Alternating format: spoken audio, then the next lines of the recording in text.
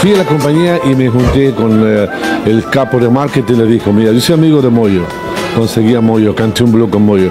Soy amigo de Natalia, Fanática tuya, por lo que fanática mía, Fanática a morir. que se compró todos mis discos toda la vida. Entonces la pongo a ella y canta conmigo una canción angélica y nos divertimos mucho.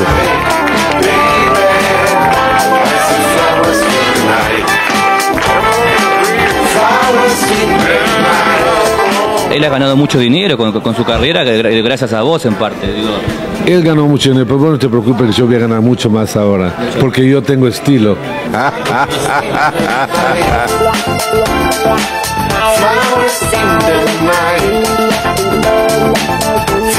¿En qué programa estás tú? en estilo. ¿Cómo? ¿Me afanaste el programa? Notero era yo de estilo. ¿Vos eras notero de estilo? ¿En qué año? Vos sos un sinvergüenza, vas a estar, sos un pelotudo vos. Vos me estás robando mí. Quiero que la gente lo sepa, que ese muchacho, ese muchacho, seguro que detrás de la piel es negro. Me está robando. Vos sos Rubandara. No, te juro que no. Sos un ladrón. Yo no soy ningún ladrón. ¿Qué estás diciendo? Yo contigo no hablo más, ¿sabes? Está terminado. ¿Y a Rubén Rada lo enterraste para siempre?